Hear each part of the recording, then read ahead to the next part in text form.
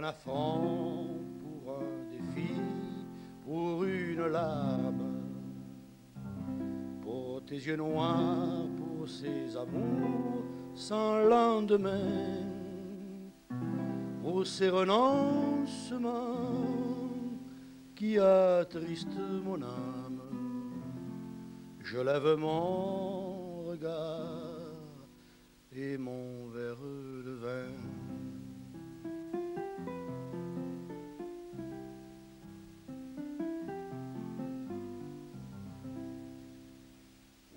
Espoir, pour un désir, pour un sésame qui m'ouvrirait les portes d'un plus beau demain.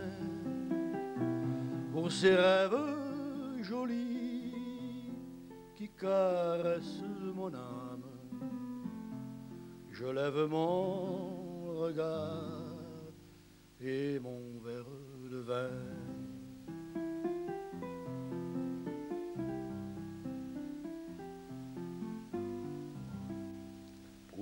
Une fleur, pour un soleil, pour une femme,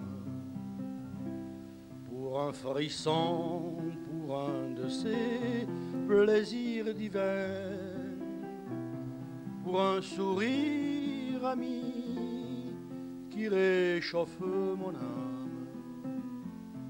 Je lève mon regard et mon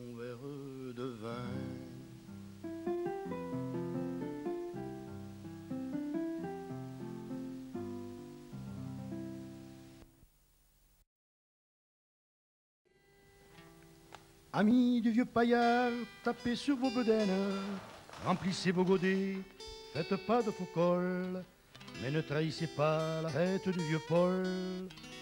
Les frasques, les écarts du tendre phénomène, c'était fait seulement pour emmerder Germaine.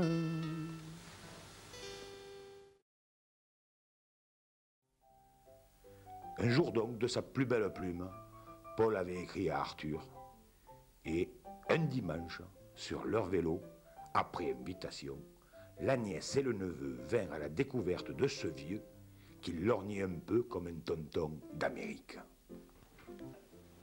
C'est le 13 juillet. Allez, à la vôtre.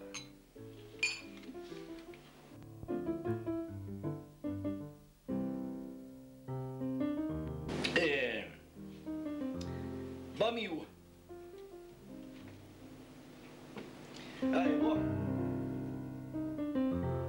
Paul réalisa comme un désastre qu'il avait invité chez lui, chose impensable, deux buveurs d'eau.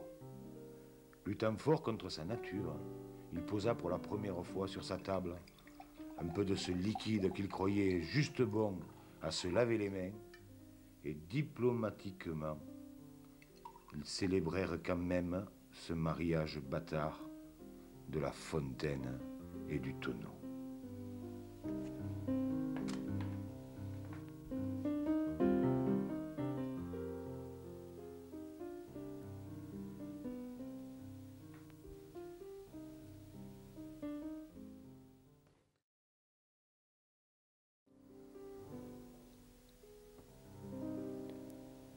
Quand Paul avait cédé ses vignes à Arthur, il s'était réservé un petit arpent, niché dans les garrigues, qu'il travaillait avec amour.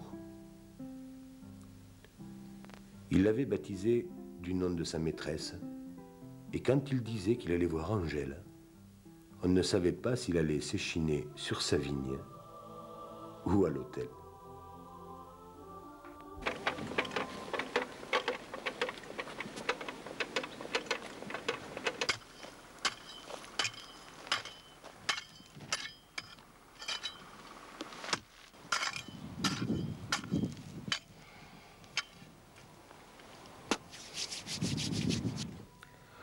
Pour le des lapins qui le lui disputaient, Paul avait entouré cet arpent d'un grillage qui lui donnait un air d'intimité.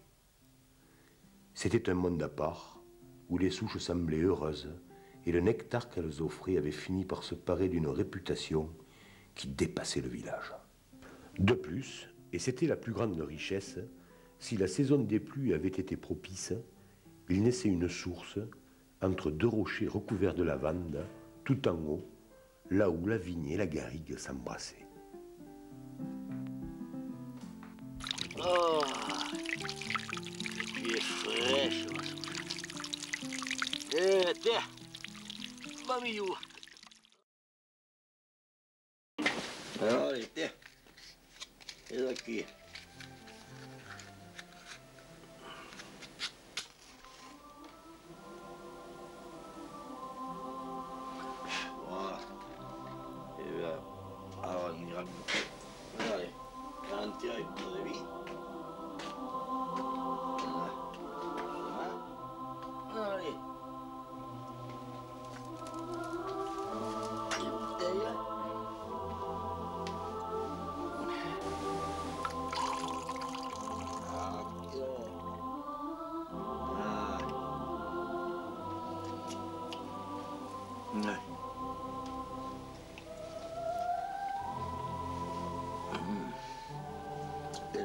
C'est pas Michan, hein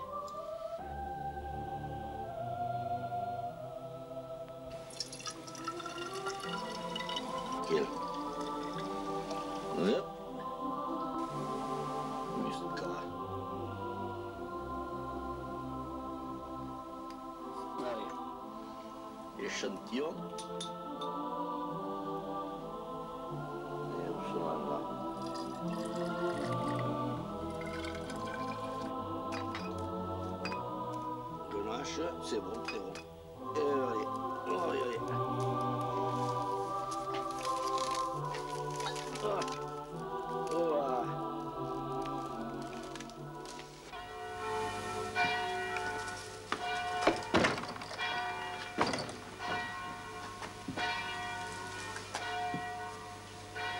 Allez. Oh.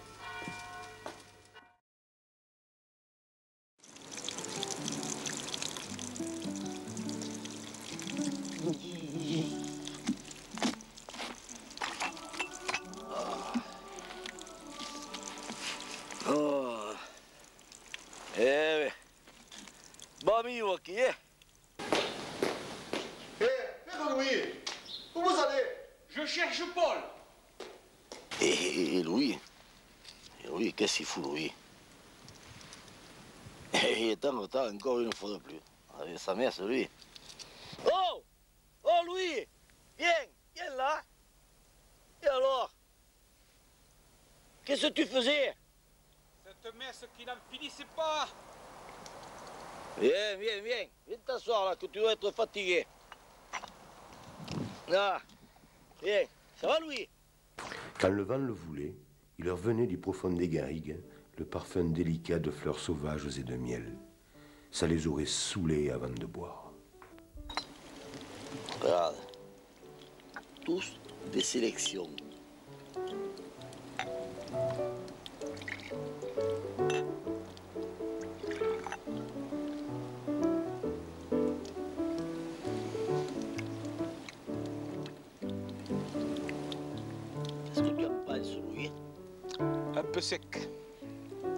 Exact. Attention.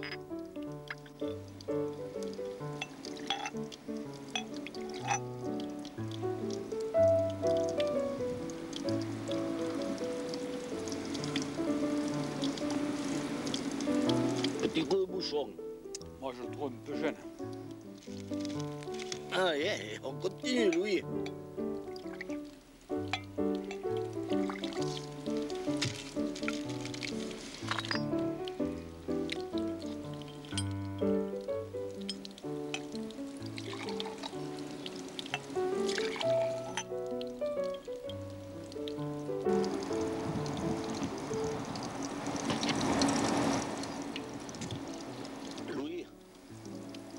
C'est une révélation. celui-là, on le jette pas. Pas question.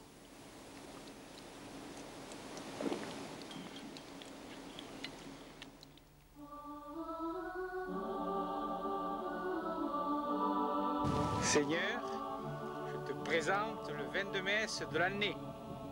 À la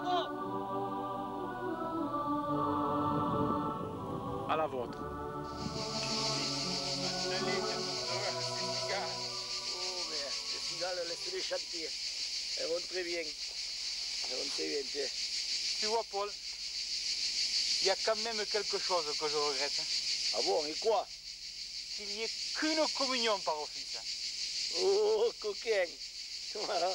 Dis, Louis, à propos, à, à quelle heure tu as la messe ce soir? À 6 heures. hein. Et, et toi, la pétanque? Moi, 6 heures, pareil. Alors, on a le temps d'en faire une. hein. Allez, on y va.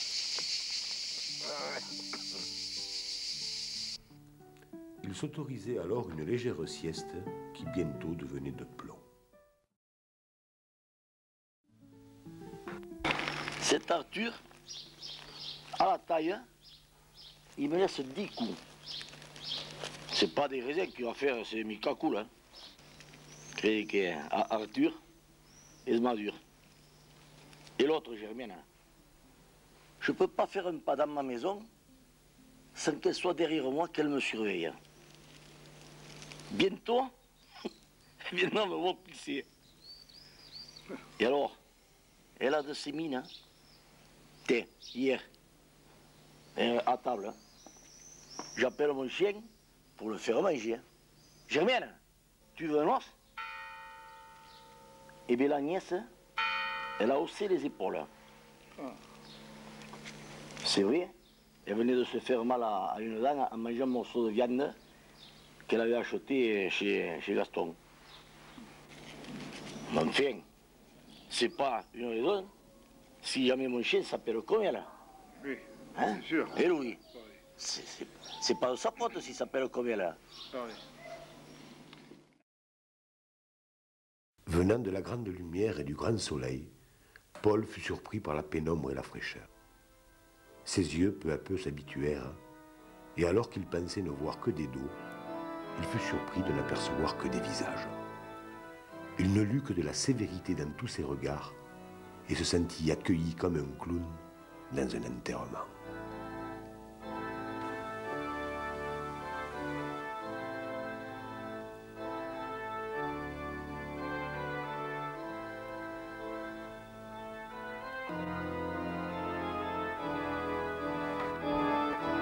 Le brave curé, le seul ici qui l'aurait compris, occupé tout entier à sa messe, marmonnait en latin.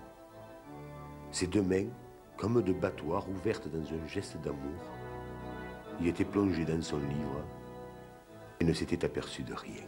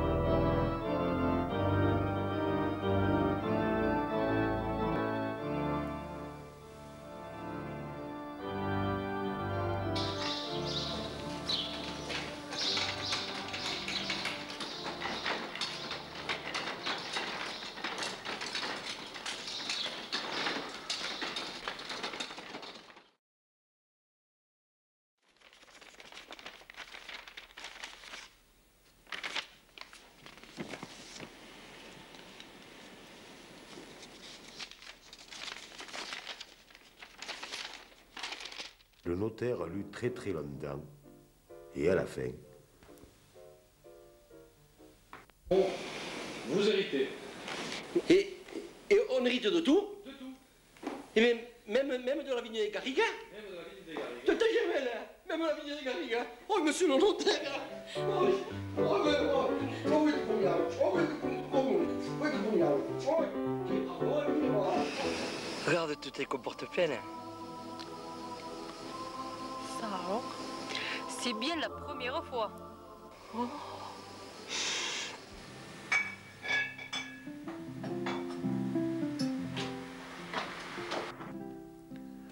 un jour, solennellement, à l'heure du repas, Arthur monta une bouteille de la cave. Ce fut peut-être l'événement le plus marquant de leur vie. Tout d'abord, ils prirent plaisir à voir couler dans les verres ce liquide chatoyant, tout chargé de légendes et de soleil. L'ivresse involontaire qui leur était venue par l'erreur de Germaine avait éveillé en eux surtout en elle, des appétits nouveaux. Une sorte de viol avait dévoré son abstinence. Elle s'éveillait au vin comme on s'éveille à l'amour. Elle huma longuement le verre lumineux qui fleurait le tonneau, puis lentement, religieusement, avec les gestes doux d'une vierge consentante, elle y trempa les lèvres. Elle se souvint avec tristesse du frisson de répulsion qu'il avait secoué le premier jour devant Paul, et elle regretta d'autant plus que le frisson d'aujourd'hui la remplissait de joie. Sans se presser, avec délice, elle vida son verre. Le vin se répandit en elle comme un sang nouveau et lui sembla prendre la communion. Alors, et alors seulement, elle comprit le vieux Paul, et l'arme retenue, elle l'aima.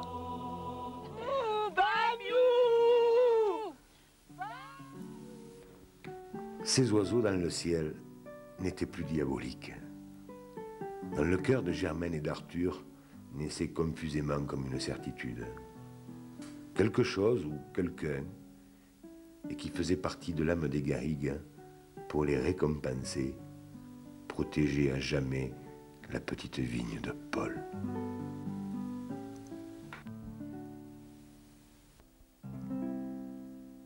Pour une fleur, pour un soleil, pour une femme, pour un frisson, pour un de ces plaisirs divins, pour un sourire ami qui réchauffe mon âme, je lève mon regard et mon verre de vin.